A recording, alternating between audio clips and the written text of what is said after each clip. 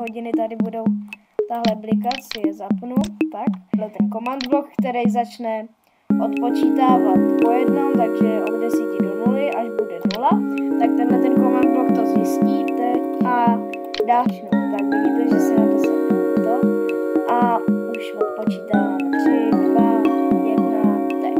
Tak vidíte, že